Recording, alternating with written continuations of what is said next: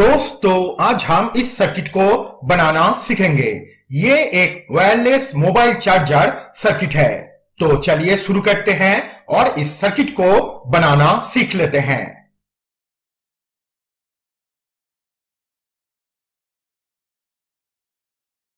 दोस्तों, इसे बनाने के लिए सबसे पहले हम लेंगे एक 28 AWG कॉपर वेयर का एक टुकड़ा। उसके बाद इस कॉपर वेयर के टुकड़े को हम एक प्लास्टिक पाइप के ऊपर टोटल 24 बार ऐसे टर्न कर देंगे।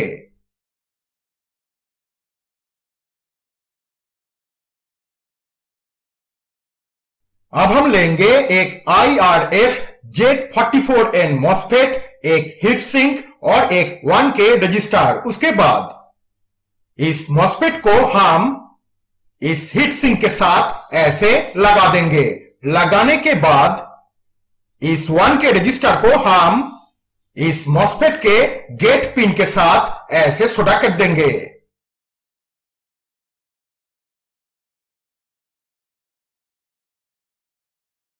अब हम कॉयल के इस तार को इस वन के रजिस्टर के इस पिन के साथ और कॉयल के इस तार को हम इस मॉसफेट के ड्रेन पिन के साथ ऐसे सोडा कर देंगे।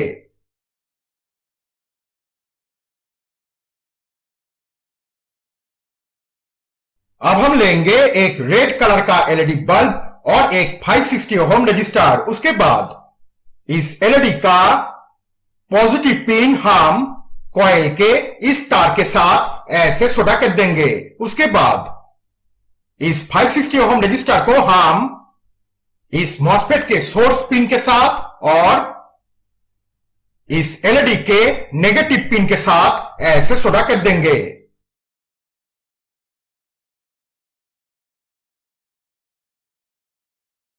अब हम लेंगे और एक 28 AWG कॉपर वेयर का एक टुकड़ा। उसके बाद इस कॉपर वेयर के टुकड़े को हम एक प्लास्टिक पाइप के ऊपर टोटल 25 बार ऐसे टर्न कर देंगे।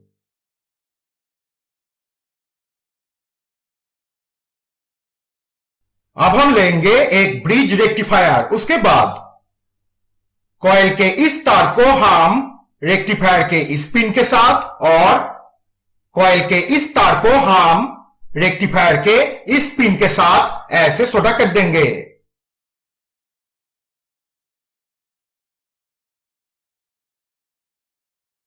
अब हम लेंगे एक 6.2 वोल्ट जीना डायोड उसके बाद इस जीना डायोड का एनोड पिन हम इस रेक्टिफायर के नेगेटिव पिन के साथ और कैथोड पिन हम इस रेक्टिफायर के पॉजिटिव पिन के साथ ऐसे सोडा कर देंगे।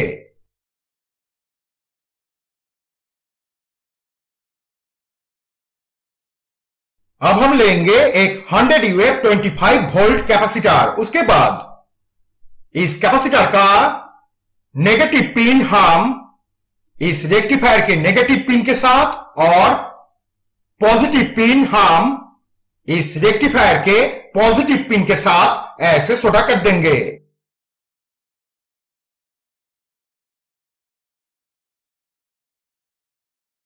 तो दोस्तों, ये टोटल सर्किट तैयार हो चुका है।